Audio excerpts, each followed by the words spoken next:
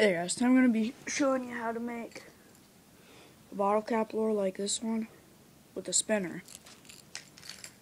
But, um, I already have the split ring on there, as you can see.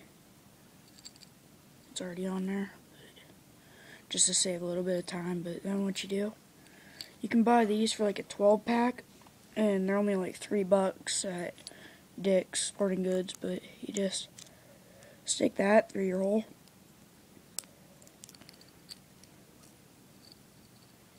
Just attach it right there. You're almost done. Now all you need to do, attach your hook. And add your BBs.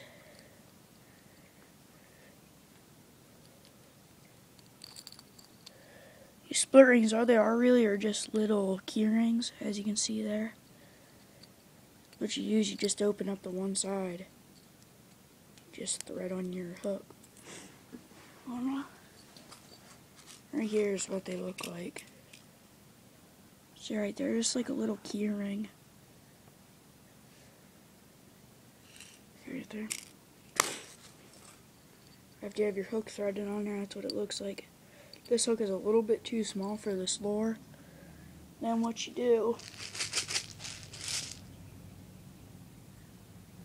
Um, it, it doesn't really matter how many of these you use, but you just take some copper BBs. I use four. Just because that's how much weight I use, but with these you don't need to use sinkers or anything.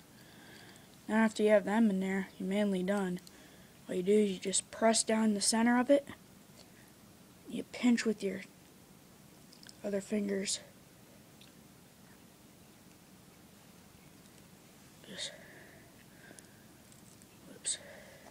a little bit off center.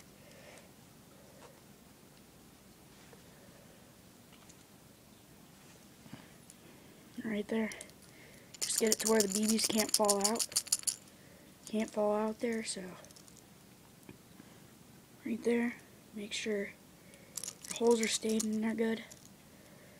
Right there you got a spinner bottle cap lure and let me know if you catch anything on this and fishing.